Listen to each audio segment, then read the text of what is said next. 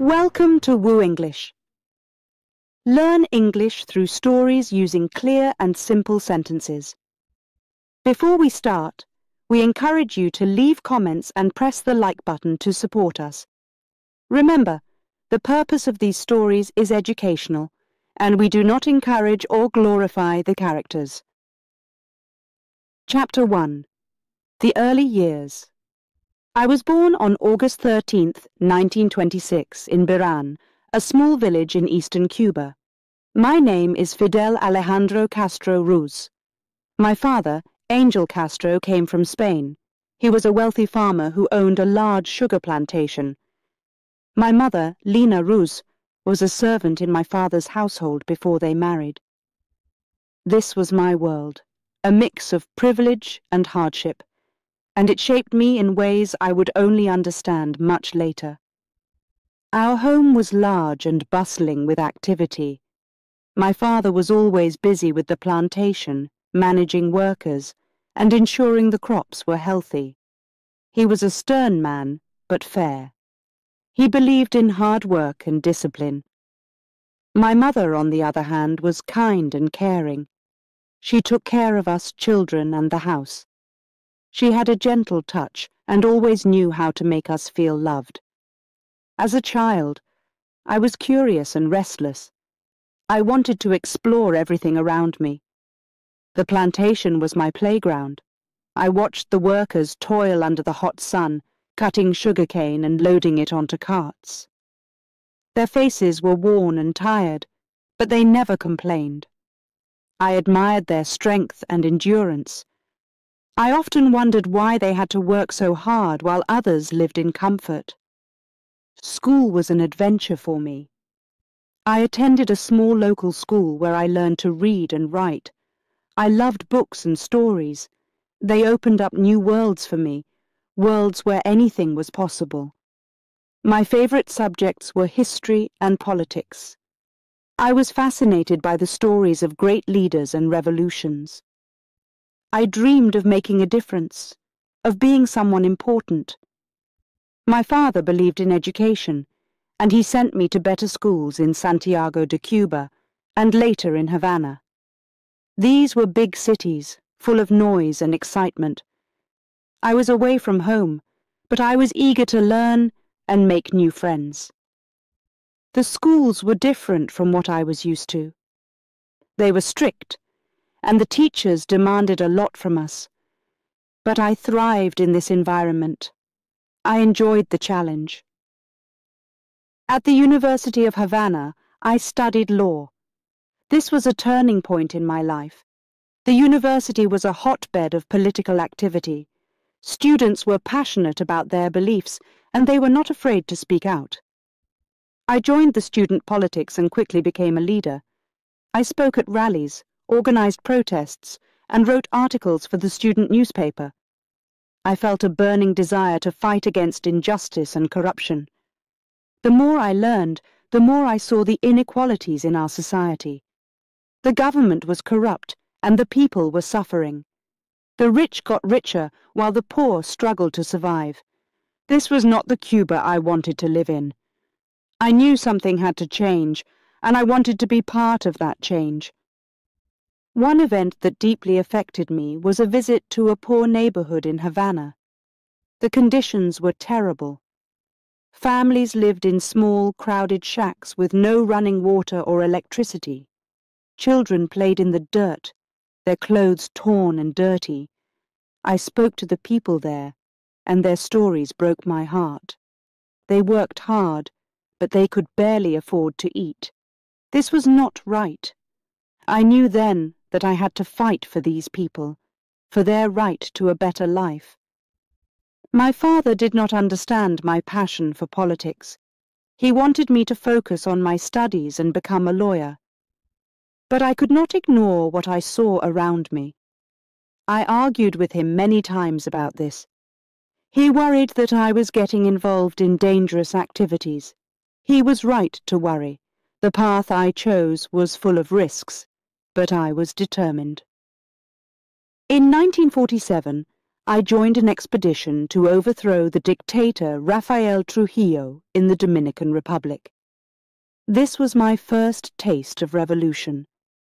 The mission failed, and we had to escape back to Cuba. But this did not discourage me. It only made me more determined. I continued my fight against the government, organizing protests and speaking out against injustice. My life changed forever on July 26, 1953. I led a group of rebels in an attack on the Moncada barracks in Santiago de Cuba. The plan was to start a revolution, but the attack failed, and many of my comrades were killed or captured. I was arrested and put on trial. This was a dark time, but it was also a moment of clarity for me. I defended myself in court, delivering a speech that would become famous. I ended with the words, History will absolve me. I was sentenced to 15 years in prison, but I knew that our fight was just beginning. In prison, I had time to think and plan. I wrote letters and articles, spreading our message. After less than two years, I was released as part of a general amnesty. I went into exile in Mexico, where I met the man who would become my close comrade, Che Guevara. Together, we planned our return to Cuba, ready to continue the fight. Looking back, I see how my early years shaped me. The contrast between my privileged upbringing and the suffering of the workers on my father's plantation opened my eyes to the inequalities in our society. My education and involvement in politics gave me the tools to fight for change. And the failure of the Moncada barracks attack taught me the importance of perseverance. These experiences were the foundation of my revolutionary journey, a journey that was only just beginning. Chapter 2 Education and Awakening I grew up in Biran, a small village in eastern Cuba. My early years were full of adventure and curiosity, but as I grew older, my parents decided I needed a better education. They sent me to prestigious schools in Santiago de Cuba and later in Havana. This was the beginning of a new chapter in my life. Santiago de Cuba was much bigger and busier than Biran. The streets were full of people, cars, and noise. It was exciting and a little overwhelming at first. The school I attended was strict and demanding. The teachers expected a lot from us. I worked hard and soon stood out because of my intelligence and charisma. I made many friends and became a natural leader among my classmates. In Santiago, I first began to notice the inequalities around me. I saw how some people lived in big houses with plenty of food, while others struggled to survive. This did not seem fair to me. I started to ask questions and think about why things were this way. But it was not until I moved to Havana that my awakening truly began. Havana was even bigger and more bustling than Santiago. The city was full of life and energy. The University of Havana was a place of great learning and excitement. I decided to study law as I wanted to understand the rules that governed our society. I was eager to learn and make a difference. At the university, I met many passionate and intelligent people. The campus was alive with ideas and debates. I quickly became involved in student politics. We organized protests and rallies, speaking out against the injustices we saw. The government was corrupt, and many people suffered because of it. This ignited a burning desire for change within me. One day, while walking through a poor neighborhood in Havana, I saw children playing in the dirt. Their clothes were torn and dirty. Their homes were small, crowded shacks with no running water or electricity. I spoke to some of the families. They told me about their struggles, about how hard they worked and how little they had. This made me very sad and angry. I knew then that I had to do something to help these people. My involvement in student politics grew deeper. I gave speeches, organized meetings, and wrote articles for the student newspaper. My voice was strong and clear, and people listened to me. I spoke about the need for justice and equality. I talked about the corruption of the government and the suffering of the poor. I wanted to inspire others to join me in the fight for a better Cuba. My father did not understand my passion for politics. He wanted me to focus on my studies and become a successful lawyer. We argued many times about this. He worried that I was getting involved in dangerous activities. But I could not ignore what I saw around me. I felt a deep responsibility to fight for those who could not fight for themselves. In 1947, I joined an expedition to overthrow the dictator Rafael Trujillo in the Dominican Republic. This was my first taste of revolution.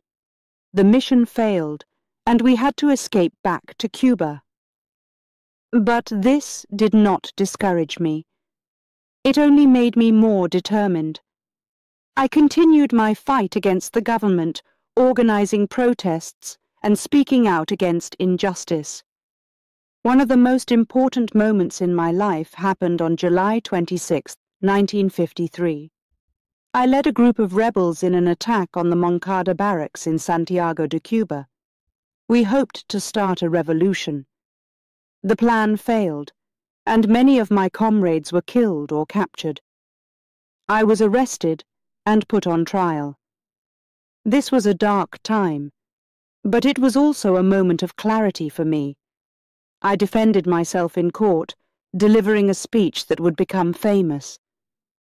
I ended with the words, History will absolve me. I was sentenced to 15 years in prison, but I knew that our fight was just beginning. In prison, I had time to think and plan. I wrote letters and articles, spreading our message. After less than two years, I was released as part of a general amnesty. I went into exile in Mexico, where I met the man who would become my close comrade, Che Guevara.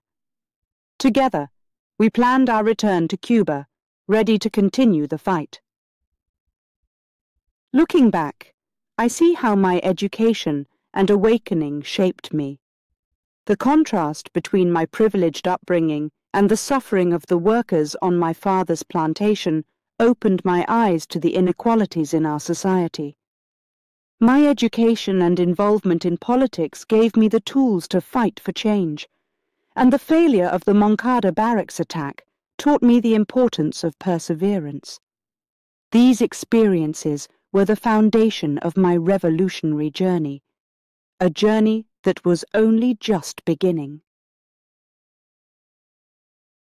Chapter 3 The Seeds of Revolution In 1947, I joined an expedition to overthrow the dictator Rafael Trujillo in the Dominican Republic. This mission was dangerous, but it was a cause I believed in deeply. We wanted to bring freedom to the people suffering under Trujillo's harsh rule. We were a small group, full of hope and determination. As we prepared for the journey, I felt a mix of fear and excitement. This was my first real step into the world of revolution. The expedition began with high spirits, but it soon turned into a disaster. Our plans fell apart, and we were forced to retreat. Many of my comrades were captured or killed. I barely escaped with my life. This failure was a hard blow, but it did not break my spirit. Instead, it made me more determined. I realized that the fight for justice would be long and difficult, but I was ready for the challenge. Back in Cuba, the situation was getting worse. President Fulgencio Batista ruled with an iron fist. Corruption was everywhere, and the rich grew richer while the poor suffered. I could not stand by and watch my people suffer. I knew I had to continue the fight. I began organizing protests and rallies. We spoke out against the government, demanding change. The police often broke up our gatherings, but we did not give up. One night, I was speaking at a rally in Havana. The crowd was large and angry. People were tired of living in poverty and fear. As I spoke, I felt their pain and anger. I told them that we had the power to change our country. I urged them to stand up and fight for their rights. The crowd cheered, and I knew that we were on the right path. We were planting the seeds of revolution. The government saw me as a threat. They tried to silence me, but I would not be silenced. I continued to speak out, writing articles and giving speeches. I knew that words were powerful. They could inspire people to take action. I travelled across the country, meeting with workers, students, and farmers. I listened to their stories and shared my vision for a better Cuba. Many joined our cause, and our movement grew stronger. One of the key moments in our struggle came in 1952. Batista seized power in a military coup. He cancelled the elections and declared himself president. This was a clear sign that he would stop at nothing to hold on to power. The people were outraged and so was I. I knew that we had to take more drastic actions. Protests and speeches were not enough. We needed a plan to overthrow Batista and his corrupt regime. I gathered a group of trusted friends and comrades. We met in secret, planning our next steps. We knew that we needed weapons and training. We also needed a strong base of support we decided to focus our efforts on the Sierra Maestra Mountains. This remote area would be a perfect place to build our guerrilla army. We began to gather supplies and recruit fighters. The journey to the Sierra Maestra was dangerous. We had to avoid the police and Batista's soldiers. Many times we were nearly caught. But we pressed on, driven by our vision of a free Cuba. In the mountains, we trained hard. We learned how to fight and survive. We also built strong bonds of friendship and trust. We knew that we could rely on each other in the toughest of times. Life in the mountains was harsh. The terrain was rugged and supplies were scarce, but we were determined. We reached out to the local peasants, earning their trust and support. They helped us with food and shelter. In return, we promised to fight for their rights. Our numbers grew, and we became a strong, united force. The government tried to crush us, but we fought back. Our hit-and-run tactics confused Batista's soldiers.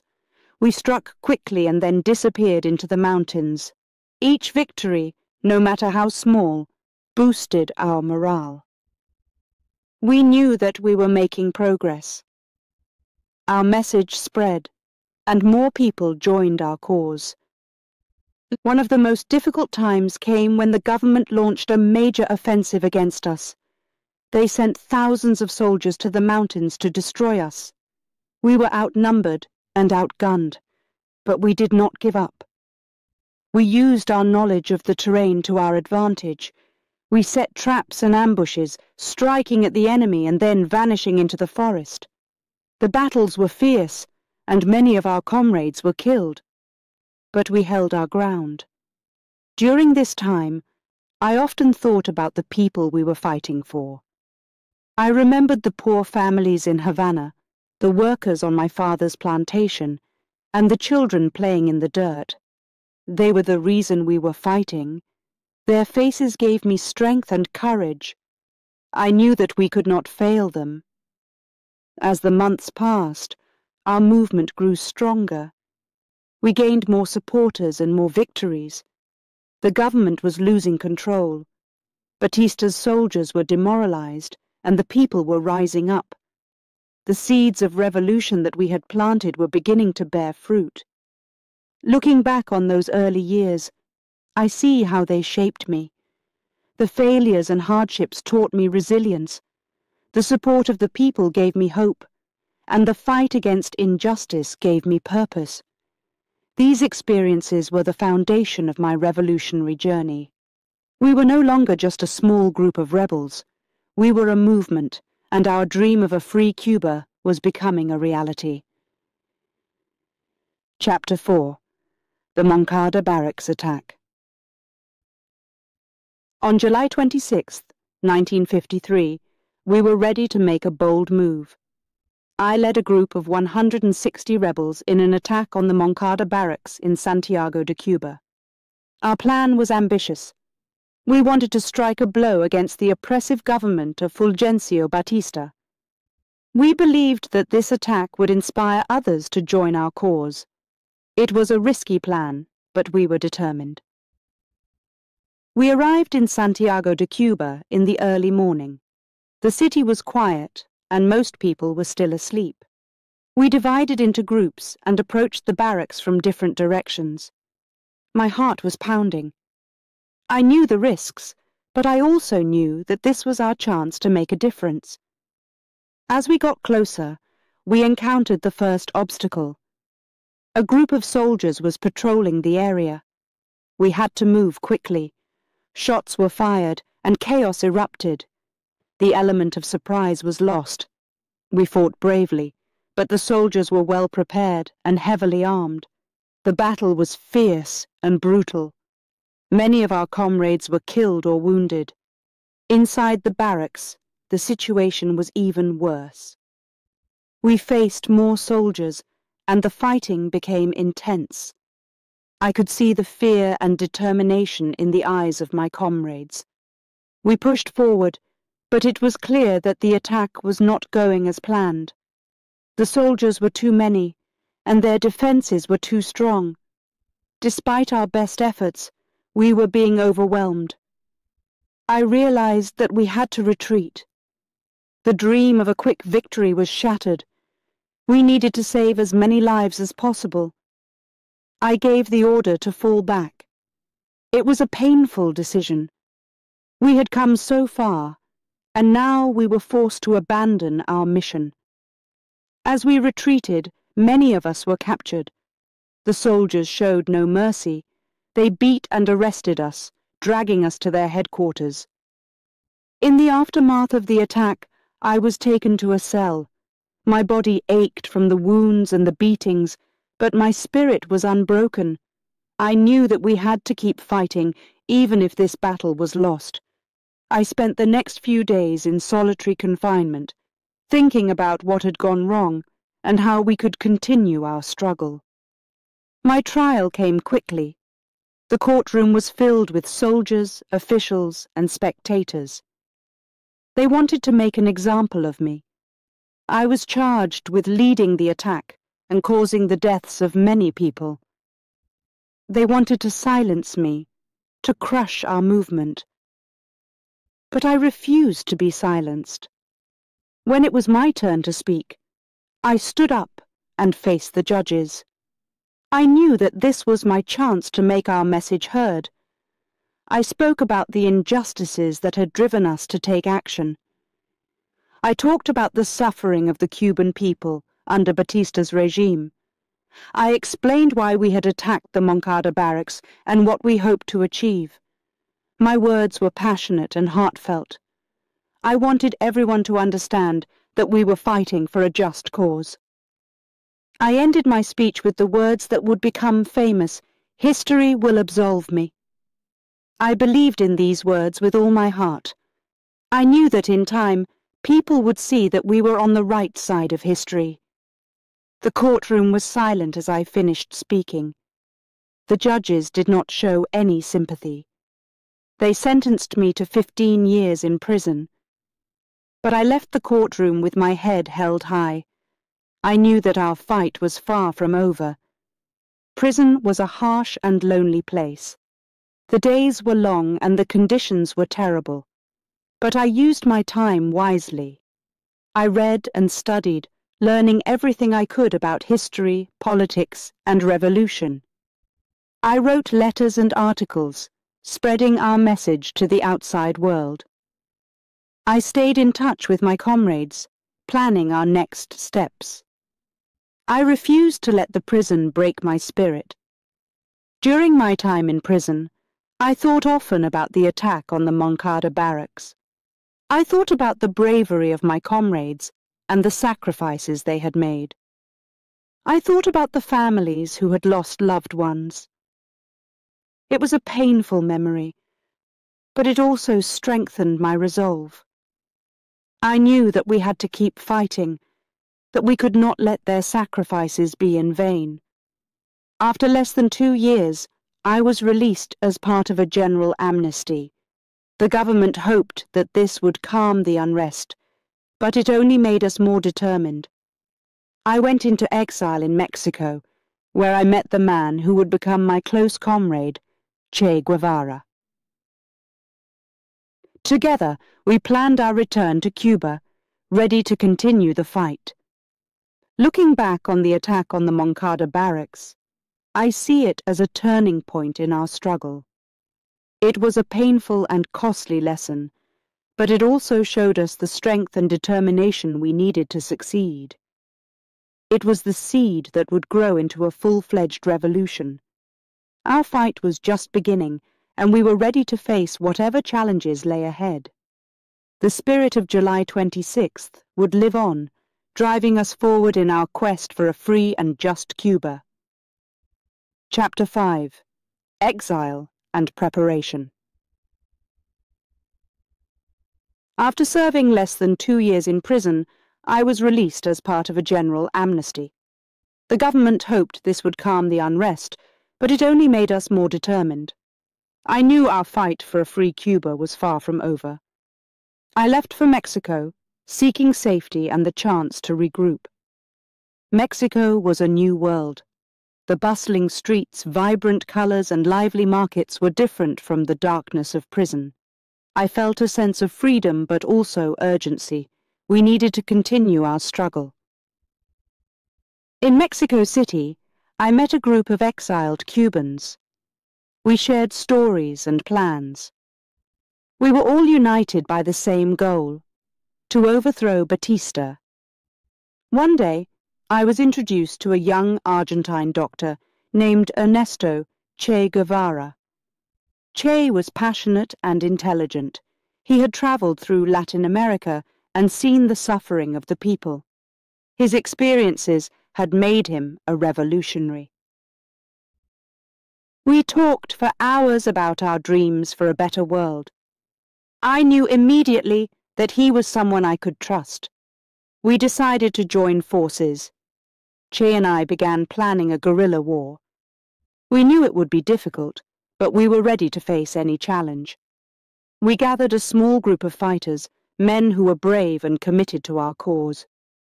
We trained in secret, learning how to fight and survive in harsh conditions. Each day we became stronger and more united. We needed a way to return to Cuba. We found an old yacht named Granma. It was small and worn, but it would carry us to our homeland. On November 25th, 1956, we set sail from the Mexican coast. The journey was long and dangerous. The sea was rough, and many of us were seasick, but our spirits were high. We sang songs and shared stories, dreaming of the day we would see Cuba again. After seven days at sea, we finally spotted the Cuban coast.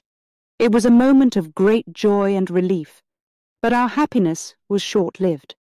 We landed in a swampy area far from our planned location. We were exhausted and disoriented.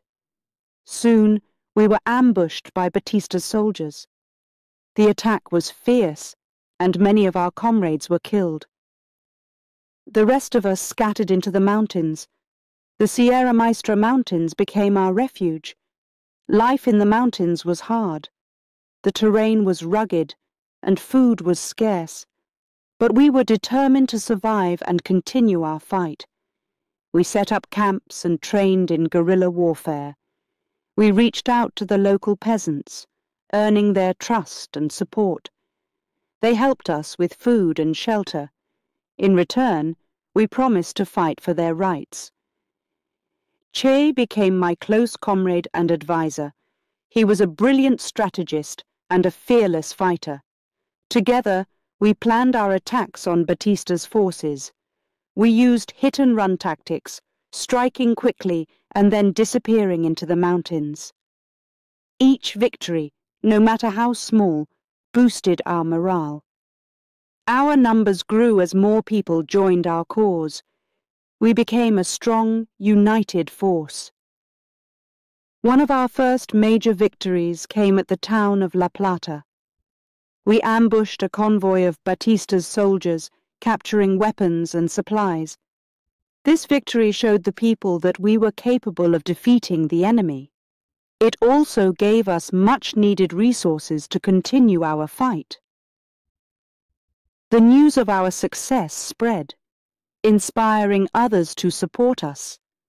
Our movement grew stronger every day. We gained more supporters and more victories. The government was losing control. Batista's soldiers were demoralized, and the people were rising up. The seeds of revolution that we had planted were beginning to bear fruit.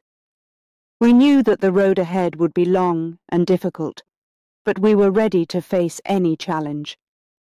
Looking back on those early days in Mexico and the mountains, I see how they shaped our revolution. The hardships and failures taught us resilience, the support of the people gave us hope, and the fight against injustice gave us purpose. These experiences were the foundation of our revolutionary journey.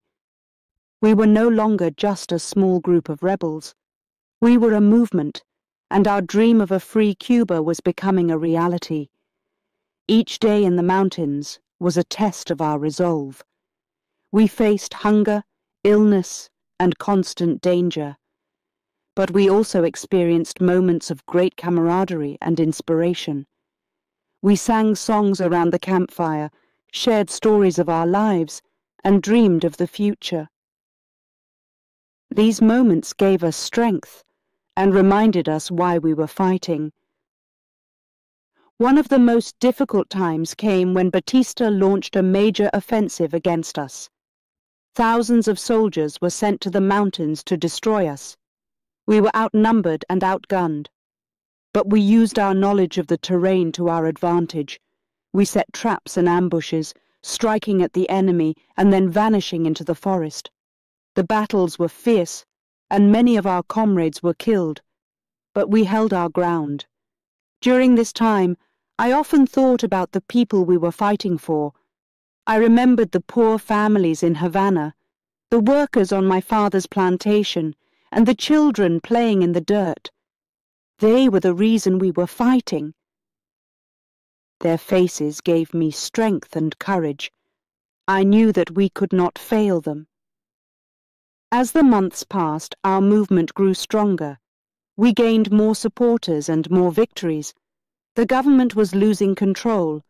Batista's soldiers were demoralized, and the people were rising up. The seeds of revolution that we had planted were beginning to bear fruit. Our fight was just beginning, and we were ready to face whatever challenges lay ahead. The spirit of our struggle would live on driving us forward in our quest for a free and just Cuba. Chapter 6 The Sierra Maestra Campaign The landing in Cuba was a disaster. We had hoped for a triumphant return, but instead we faced immediate danger. Most of our comrades were killed or captured. Only a few of us survived. Among the survivors were my brother Raul, Che Guevara, and myself. We fled into the Sierra Maestra Mountains, seeking refuge and a new beginning. The Sierra Maestra was a harsh and rugged place. The mountains were covered in dense forest, and the terrain was difficult to navigate. But it was also a perfect hiding place. We set up camp and began to regroup. We knew that we needed to build a strong guerrilla force if we were going to continue our fight against Batista. Our first priority was survival. We had little food and few supplies. The local peasants, however, came to our aid. They shared their meagre provisions with us and provided us with shelter. In return, we promised to fight for their rights and freedom. Slowly, We gained their trust and support. Life in the mountains was hard. We faced hunger, illness, and constant danger from Batista's soldiers, but we were determined. We trained every day, learning how to fight and survive in the harsh conditions. Che Guevara, with his medical knowledge and military skills, became a key figure in our group. He treated the sick and wounded and helped train our fighters. We used hit-and-run tactics to strike at Batista's forces. We would attack quickly and then disappear into the mountains. These tactics were effective. They confused and demoralized the enemy. Each successful raid boosted our morale and strengthened our resolve. Propaganda was another important part of our strategy. We needed to win the hearts and minds of the Cuban people. We wrote articles and pamphlets, explaining our cause and our vision for a free Cuba. We smuggled these writings out of the mountains and into the cities and villages. Our message spread, and more people began to support us. One of our key victories came at the town of La Plata. We ambushed a convoy of Batista's soldiers, capturing weapons and supplies. This victory showed the people that we were capable of defeating the enemy. It also gave us much needed resources to continue our fight. The news of our success spread, inspiring others to join our cause. As our movement grew, so did the challenges. Batista launched several offensives to destroy us. Thousands of soldiers were sent into the mountains. The battles were fierce, and many of our comrades were killed. But we used our knowledge of the terrain to our advantage. We set traps and ambushes, striking at the enemy and then vanishing into the forest. Each battle was a test of our resolve, but we held our ground. During these difficult times, I often thought about the people we were fighting for. I remembered the poor families in Havana, the workers on my father's plantation, and the children playing in the dirt. They were the reason we were fighting. Their faces gave me strength and courage. I knew that we could not fail them. The support of the local peasants was crucial to our survival. They provided us with food, shelter, and information about enemy movements. In return, we helped them with their daily struggles. We built schools and clinics, and we taught them how to read and write. These efforts strengthened our bond with the people and solidified their support for our cause. Che Guevara became my close comrade and adviser. He was a brilliant strategist and a fearless fighter. Together, we planned our attacks on Batista's forces. We used hit-and-run tactics, striking quickly and then disappearing into the mountains. Each victory, no matter how small, boosted our morale. Our numbers grew as more people joined our cause. We became a strong, united force. As the months passed, our movement grew stronger. We gained more supporters and more victories. The government was losing control. Batista's soldiers were demoralized, and the people were rising up. The seeds of revolution that we had planted were beginning to bear fruit. Our fight was just beginning and we were ready to face whatever challenges lay ahead.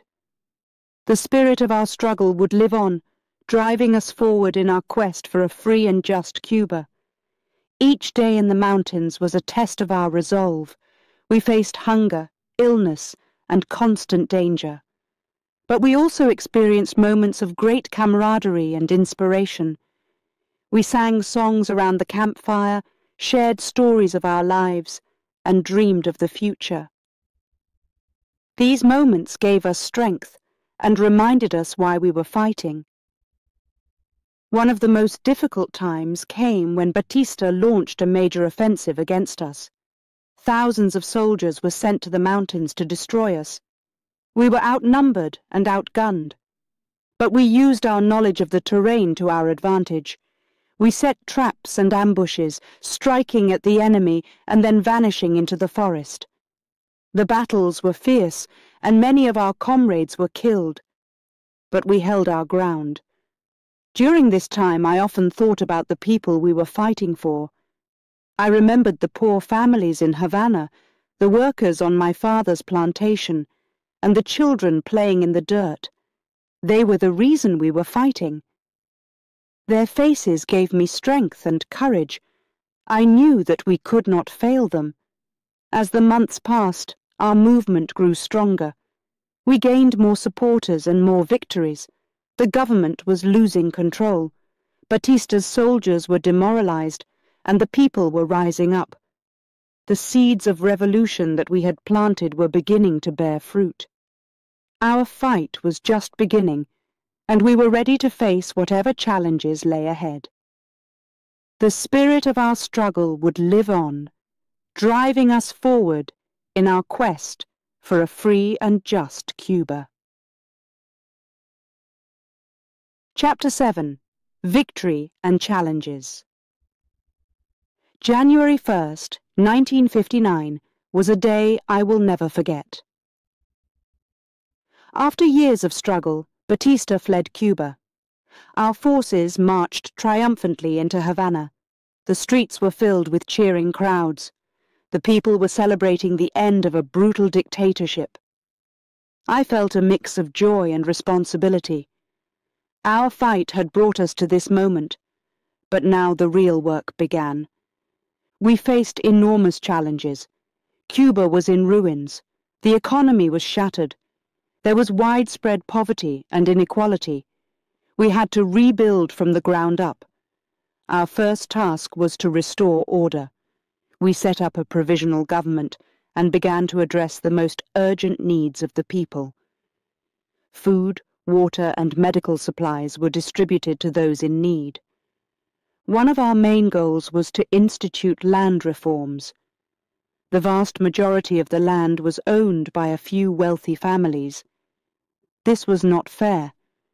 We wanted to give land to the peasants who worked on it. We believed that this would not only improve their lives, but also boost the economy. We faced resistance from the landowners, but we pushed forward with our plans. We also had to deal with opposition from within and outside Cuba. Some people did not agree with our revolutionary ideals. They feared change and clung to the old ways. We tried to engage them in dialogue, but many were resistant. We had to find a balance between maintaining order and allowing for dissent.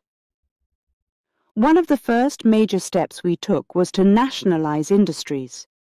We believed that the wealth of the nation should be used to benefit all its people, not just a few.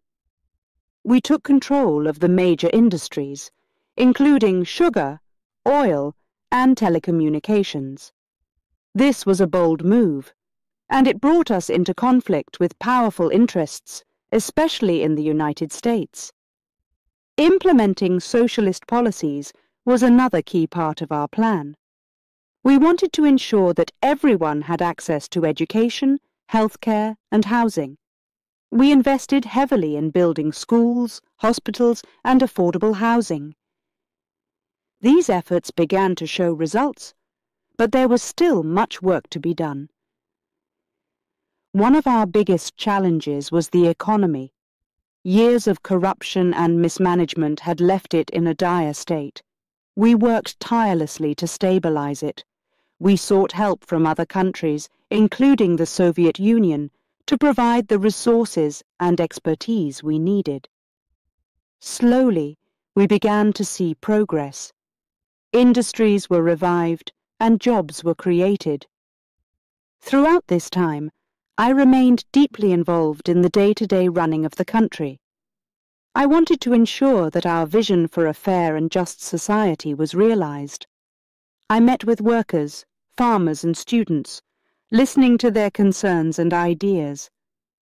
Their energy and determination inspired me to keep pushing forward. Education was a cornerstone of our new society, we believed that an educated population was essential for a strong and prosperous nation. We launched a massive literacy campaign, sending teachers into the most remote areas of the country. The results were remarkable. Within a few years, illiteracy rates dropped dramatically.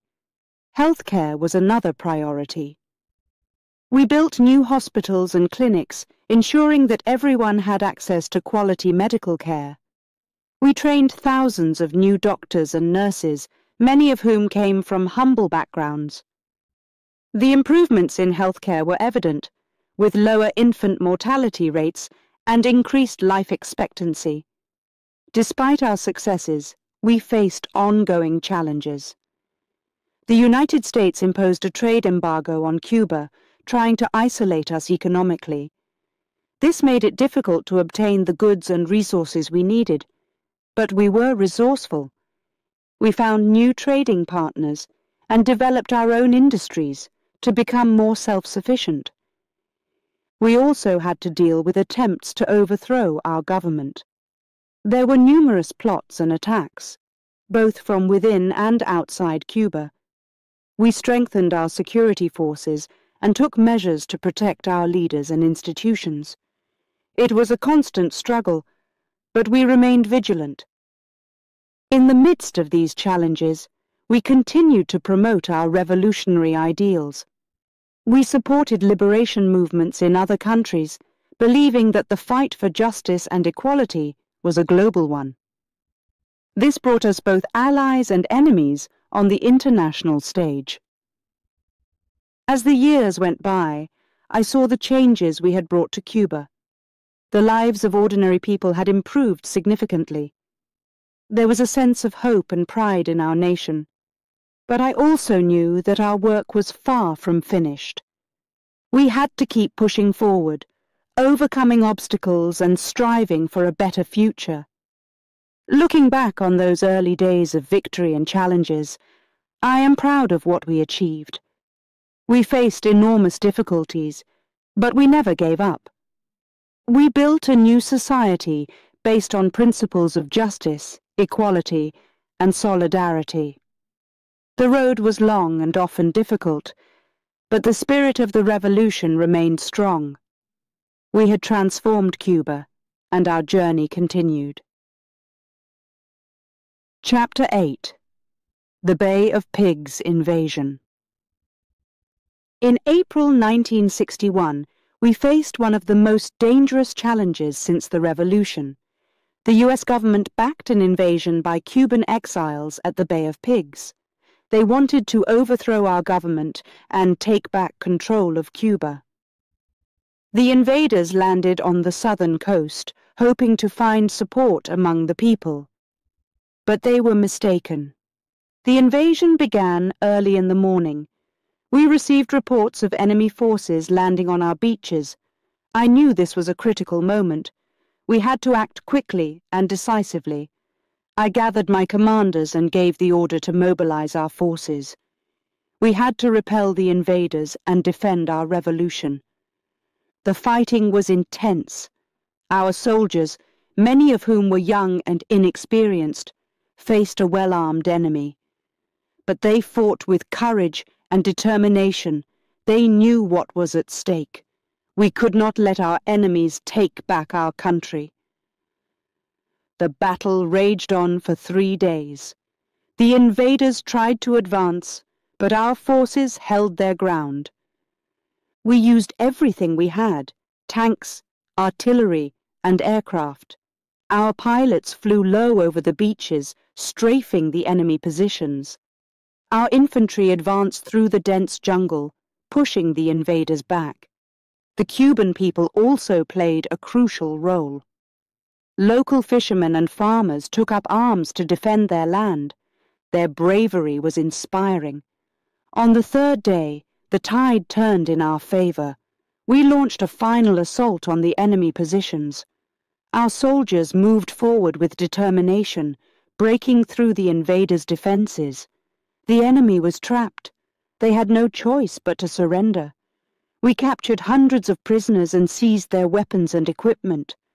The victory at the Bay of Pigs was a turning point for us. It strengthened our position and showed the world that we could defend our revolution. It also sent a clear message to the United States. We would not be defeated. But the invasion had deeper consequences. It pushed us closer to the Soviet Union. We needed allies who would support us in our struggle against US aggression. The days following the invasion were filled with tension. We knew that the United States would not give up easily. They had invested a lot in the failed invasion and would likely try again. We had to prepare for the worst. I met with my advisers to discuss our next steps. We decided to strengthen our defenses and seek support from the Soviet Union. I traveled to Moscow to meet with Soviet leaders. I explained our situation and asked for their help. They agreed to provide us with military aid, including weapons and advisers. This was a significant step. It marked the beginning of a close alliance between Cuba and the Soviet Union. We knew that this alliance would provoke the United States, but we had no other choice. Back in Cuba, we began to build our defenses. We constructed bunkers and fortified positions along the coast. We also trained our soldiers and prepared the people for the possibility of another invasion. The atmosphere was tense, but there was also a sense of determination. We had faced great challenges before, and we were ready to face them again. The Bay of Pigs invasion also had a profound impact on me personally. It reinforced my belief in the strength and resilience of the Cuban people. I saw firsthand the courage and determination of our soldiers and civilians. Their bravery inspired me and gave me hope for the future. I knew that as long as we stood together, we could overcome any challenge. As the months passed, the tension between Cuba and the United States grew. The failed invasion had humiliated the US government, and they were determined to bring us down. They imposed a trade embargo, hoping to isolate us economically. But we found ways to survive. We traded with other countries and developed our own industries. The support from the Soviet Union was crucial. They provided us with much needed resources and technical expertise. We began to modernize our military and improve our infrastructure. Our relationship with the Soviet Union grew stronger, and we became a key player in the Cold War. The Bay of Pigs invasion was a catalyst for change. It marked the beginning of decades of tension between Cuba and the United States. But it also strengthened our resolve and united us in our fight for independence. We knew that the road ahead would be difficult, but we were ready to face any challenge. Looking back on those days, I am proud of what we accomplished. The victory at the Bay of Pigs showed the world that we were a force to be reckoned with. It also taught us valuable lessons about resilience and determination. We had faced a powerful enemy and emerged victorious. The spirit of the revolution remained strong, and our journey continued. Each day, I worked tirelessly to ensure that our revolution would succeed. I met with workers, soldiers, and students, listening to their concerns and ideas. Their energy and commitment inspired me to keep pushing forward. We faced many challenges, but we never lost sight of our goal, a free and just Cuba. The Bay of Pigs invasion was a defining moment in our history. It tested our strength and resolve, but it also brought us closer together. We had proven that we could defend our revolution against all odds. As we moved forward, we carried with us the lessons learned from that battle. The fight for justice and equality continued, and we were ready for whatever lay ahead. Chapter 9 The Cuban Missile Crisis In October 1962, the world stood on the edge of a catastrophe. The Cuban Missile Crisis was the most dangerous moment in our fight for independence. It all began when the Soviet Union placed nuclear missiles in Cuba. This decision put us at the center of a tense standoff between the United States and the Soviet Union. We agreed to the missiles because we needed a strong defense against future invasions. The memory of the Bay of Pigs was still fresh in our minds. We could not afford another attack. The missiles were our insurance, a way to protect our revolution and our people. But the stakes were high. We knew that this move would provoke a strong reaction from the United States. In October, American spy planes discovered the missiles. The reaction was immediate and severe. President Kennedy demanded their removal and imposed a naval blockade around Cuba. The world watched as the tension between the two superpowers escalated. We were caught in the middle, facing the possibility of a nuclear war. The days that followed were filled with fear and uncertainty. The United States threatened to invade if the missiles were not removed. The Soviet Union stood by us, refusing to back down. The world held its breath, waiting to see what would happen next. It was a time of great pressure and intense negotiations. I played a crucial role during this crisis. I stood firm in our decision to defend Cuba. I knew that showing weakness could invite another invasion, but I also knew that we had to find a peaceful solution. I communicated with both the Soviet and American leaders, trying to navigate this dangerous situation. The pressure was immense, but I remained focused on our goal to protect Cuba and avoid a nuclear war. The tension reached its peak on October 27th. Both sides were preparing for the worst. The threat of war loomed over us, but behind the scenes, negotiations were taking place. The Soviet leader, Nikita Khrushchev, and President Kennedy were searching for a way out of the crisis. The world watched and waited, hoping for a peaceful resolution. Finally, on October 28th, an agreement was reached. The Soviet Union agreed to remove the missiles from Cuba. In exchange, the United States pledged not to invade our country. It was a relief to know that the immediate danger had passed. The missiles were dismantled and shipped back to the Soviet Union. The blockade was lifted and the threat of war receded.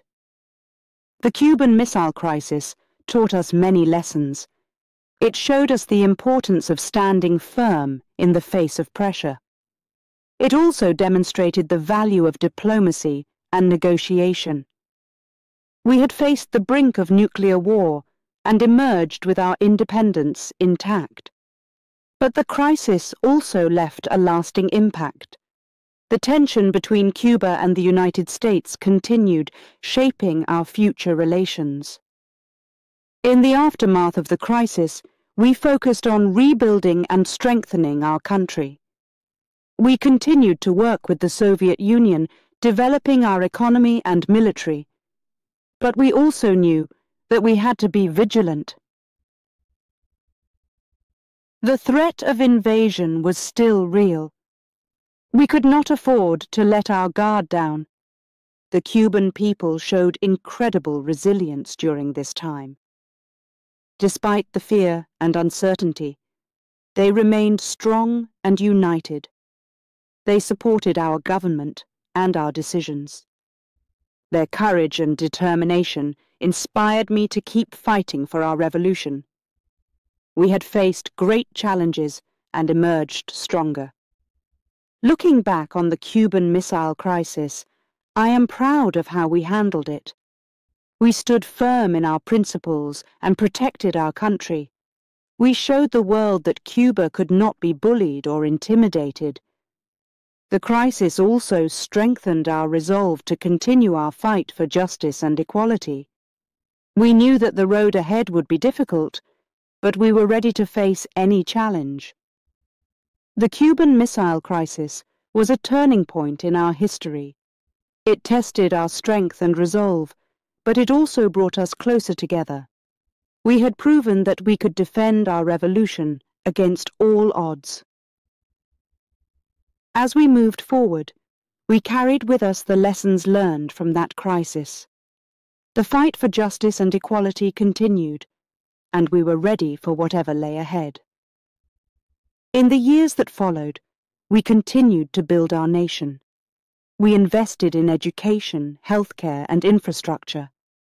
We worked to improve the lives of our people, ensuring that everyone had access to the basic necessities. We faced many challenges, but we never lost sight of our goal a free and just Cuba. The Cuban Missile Crisis was a defining moment in our journey. It showed us the power of unity and determination.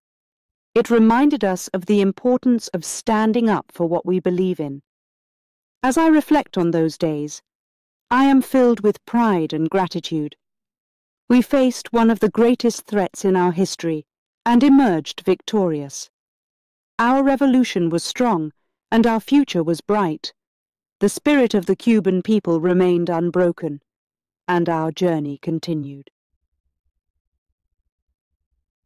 Chapter 10 Exporting Revolution Throughout the 1960s and 1970s, our revolution was not confined to Cuba. I believed that the struggle for justice and equality should extend beyond our borders. We supported revolutionary movements around the world. Our goal was to spread socialism and help other nations achieve their own freedom. Cuba's role in these international efforts began to grow. We sent aid and support to various countries, particularly in Africa, Latin America, and the Caribbean. We provided military training, medical assistance, and educational programs. Our commitment to these causes brought both admiration and condemnation. Some saw us as champions of the oppressed, while others viewed us as troublemakers. One of our first major international efforts was in Algeria. In 1961, the Algerian people were fighting for independence from French colonial rule. We provided them with weapons, training, and medical aid. I felt a strong connection to their struggle seeing it as similar to our own fight against Batista. The victory of the Algerian people in 1962 was a significant moment. It reinforced my belief in the power of solidarity and revolution. Our involvement in Africa continued with the Congo. After the assassination of Patrice Lumumba, the country fell into chaos. We sent Cuban fighters, led by Che Guevara, to support the revolutionary forces. The mission was challenging, and ultimately it did not succeed. However, it was a valuable experience. It showed us the complexities of international struggles and the need for local leadership and support. One of our most significant contributions was in Angola. In 1975, Angola was fighting for independence from Portuguese colonial rule. The conflict quickly turned into a civil war, with various factions vying for power. The United States and South Africa supported one side, while the Soviet Union and Cuba supported the other. We sent thousands of Cuban troops to Angola, providing crucial support to the revolutionary forces. The Battle of Cuito Cuanavale in 1988 was a turning point in the Angolan conflict. Our troops fought alongside Angolan forces, holding off a major South African offensive. The victory was significant. It helped secure Angola's independence and also contributed to the eventual downfall of apartheid in South Africa. This moment was a source of great pride for us it showed the impact of our commitment to international solidarity. In Latin America, we supported various revolutionary movements. In Nicaragua, we provided support to the Sandinista National Liberation Front. They were fighting to overthrow the Somoza dictatorship. In 1979, they succeeded, and Nicaragua embarked on its own path of socialist transformation. Our support was instrumental in their victory and it strengthened our ties with other revolutionary governments in the region. Our involvement in the Caribbean was also significant. We supported the government of Maurice Bishop in Grenada. Bishop was a Marxist-Leninist leader who aimed to implement socialist policies. We provided medical, educational and military assistance. Unfortunately, in 1983, a coup led to Bishop's assassination. The United States then invaded Grenada, reversing many of the gains made by the revolution. These international efforts were not without controversy. Many countries, especially the United States, criticized our actions. They accused us of interfering in the internal affairs of other nations and spreading communism. We faced economic sanctions and diplomatic isolation, but we remained steadfast in our beliefs. We saw our actions as a continuation of our revolutionary struggle, a way to help others achieve the same freedom we had fought for in Cuba. Our internationalism also brought admiration. Many people around the world saw us as a beacon of hope. They admired our courage and commitment to social justice. Our medical missions in particular were highly praised. Cuban doctors and nurses traveled to remote areas, providing much-needed health care. These efforts saved countless lives and showed the world a different side of our revolution. Throughout these years, I remained deeply involved in our international efforts. I met with leaders from around the world, discussing strategies and sharing experiences. I visited countries in Africa, Latin America, and the Caribbean, offering support and solidarity. These experiences broadened my understanding of the global struggle for justice and deepened my commitment to our revolutionary ideals. Looking back, I am proud of what we accomplished. We stood in solidarity with oppressed people around the world, helping them in their struggles for freedom. Our efforts in Africa, Latin America, and the Caribbean had a lasting impact. We showed that a small nation like Cuba could play a significant role on the global stage. Our commitment to internationalism was a testament to our revolutionary spirit. But our international efforts also taught us valuable lessons. We learned the importance of local leadership and the complexities of revolutionary struggles. We faced setbacks and challenges, but we never gave up. Our commitment to solidarity and justice remained strong. We believed that a better world was possible, and we were willing to fight for it. As I reflect on these years, I am filled with a sense of pride and determination. We faced enormous challenges, but we never lost sight of our goal. We supported revolutionary movements around the world, spreading the ideals of socialism and justice. Our journey was far from over, but we had made significant strides. The spirit of the Cuban Revolution lived on, inspiring others and driving us forward in our quest for a better world. Chapter 11 The Special Period In 1991, the collapse of the Soviet Union brought an unexpected and severe crisis to Cuba. This period, known as the Special Period, was one of the greatest challenges I faced as a leader.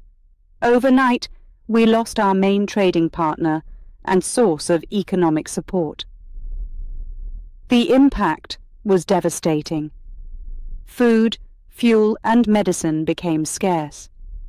The entire island felt the strain. The early days of the special period were marked by uncertainty and fear. Our people, who had grown accustomed to a certain level of stability, suddenly faced shortages in almost every aspect of life. The food rations became smaller, and lines at the stores grew longer. Public transportation came to a near halt due to the lack of fuel. Hospitals struggled to provide basic care without enough medicine and supplies. I knew that maintaining control and guiding the nation through this crisis would be a monumental task. The morale of the people was low, and there was a real danger of social unrest. I addressed the nation, urging everyone to remain resilient and united. I spoke about the need for sacrifice and innovation. I knew words alone would not solve the problems, but I hoped to inspire a sense of solidarity and determination. We had to find ways to adapt quickly. We turned to agriculture, encouraging urban farming and community gardens. Every available piece of land was used to grow food. The government provided seeds and tools, and people worked together to cultivate crops. These efforts helped alleviate some of the food shortages, but it was not enough. Our transportation system faced similar challenges. With fuel in short supply, we had to come up with alternative solutions. We encouraged the use of bicycles and carpooling. Oxen replaced tractors in the fields, and horse-drawn carriages became a common sight in the cities. These changes were difficult, but they demonstrated the resourcefulness and resilience of our people. Healthcare was another critical area. With limited access to medicine, our doctors and nurses had to find new ways to treat patients. We turned to natural and traditional remedies, using herbs and plants to create medicines. Our medical professionals also focused on preventive care, emphasizing the importance of nutrition and hygiene to keep people healthy. Despite these efforts, the situation remained dire.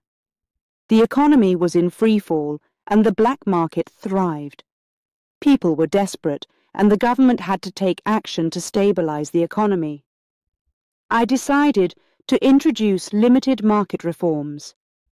This was a difficult decision as it went against many of our socialist principles, but it was necessary to prevent total collapse. We allowed small private businesses to operate, giving people the opportunity to earn a living through their own efforts. Farmers' markets were established, where people could sell their produce directly to consumers. We also opened the country to tourism, inviting foreigners to visit and spend money in our hotels, restaurants and shops. These measures helped inject much-needed cash into the economy. The special period tested the resilience of our nation. It was a time of great hardship, but it also brought out the best in our people. Communities came together to support one another. Families shared what little they had with neighbors. There was a sense of solidarity and mutual aid that kept us going through the darkest days. International support was also crucial. Countries like China and Venezuela stepped in to provide aid. They sent food, fuel and medical supplies, helping to ease the burden. Our solidarity with other nations grew stronger as we navigated this crisis together. The international community saw the strength and determination of the Cuban people. As the years passed, we began to see signs of recovery. The economy started to stabilize, and the reforms we had implemented began to bear fruit. People adapted to the new realities, finding innovative ways to survive and thrive. The lessons learned during the special period would shape our future policies and strategies. Looking back, I am proud of how we faced the special period. It was a time of immense challenge but it also highlighted the resilience and ingenuity of our people. We demonstrated that even in the face of extreme adversity, we could find solutions and move forward. The crisis reinforced my belief in the strength of our revolutionary spirit. The special period was a defining moment in our history. It showed us the importance of adaptability and solidarity we learned to be resourceful and self-reliant, qualities that would serve us well in the years to come. Despite the hardships, we emerged stronger and more united. As I reflect on those challenging years, I am filled with gratitude for the perseverance of the Cuban people. Their courage and determination were the backbone of our survival.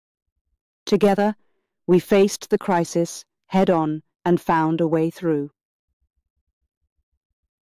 The special period was a testament to the power of collective effort and the indomitable spirit of our nation.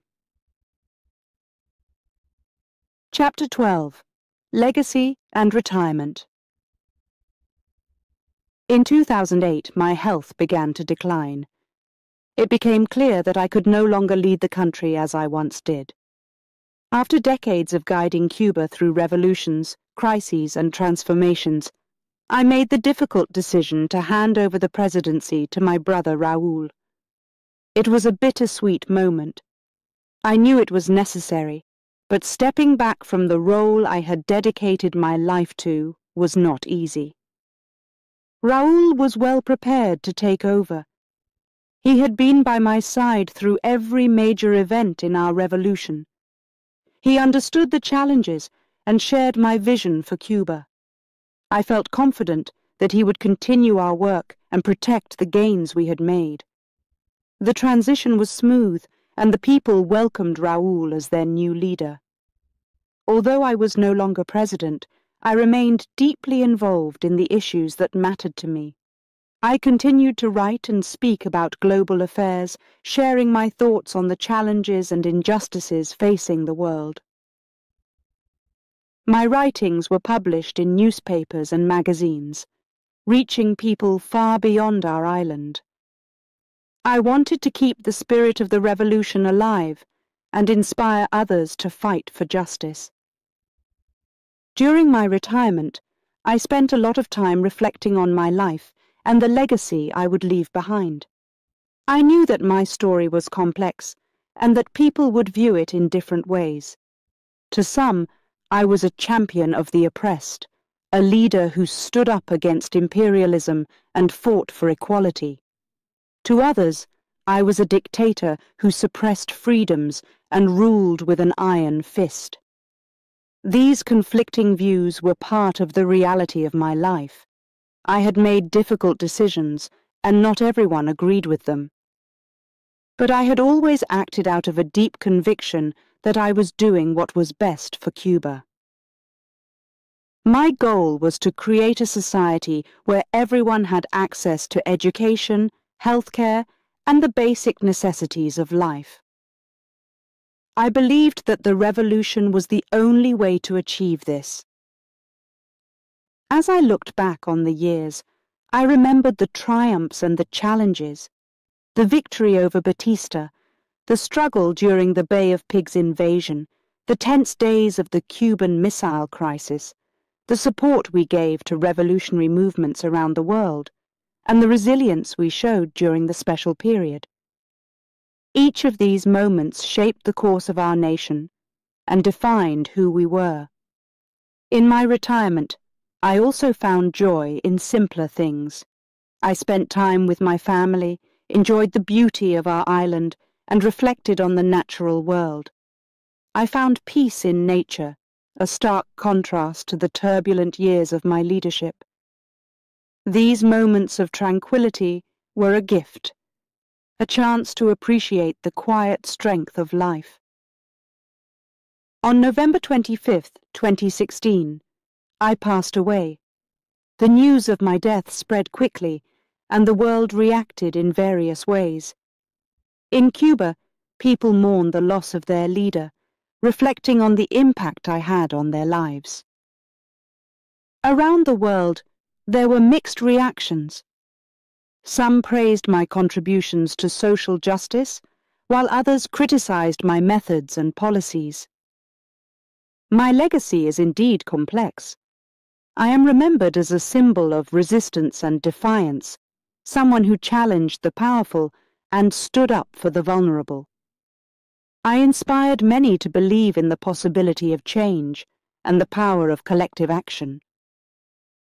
But my legacy also includes the controversies and the criticisms. The suppression of dissent, the limitations on personal freedoms, and the economic hardships faced by many Cubans are all part of my story. Despite the debates and differing opinions, I hope that my life and work will continue to inspire discussion and reflection. I wanted to show that it is possible to dream of a better world and to fight for that dream, even in the face of great adversity. My journey was one of unwavering conviction and dramatic change. It was a journey that sought to transform society and uplift the oppressed. As the years go by, I hope that people will look at my life with a nuanced perspective. I hope they will see the complexities and understand the motivations behind my actions. My goal was always to create a more just and equitable world, even if the path was fraught with difficulties. In the end, my legacy is a testament to the power of ideals and the impact of one person's determination. I leave behind a Cuba that is proud and resilient, a nation that has faced immense challenges and emerged stronger. My story continues to inspire and provoke debate, reminding us all of the enduring struggle for justice and the importance of standing up for what we believe in. As I rest now, I am at peace, knowing that I gave my all to the cause I believed in. My life was dedicated to the pursuit of a better world, and I am grateful for the journey. The spirit of the Cuban Revolution lives on, and I hope it will continue to inspire future generations.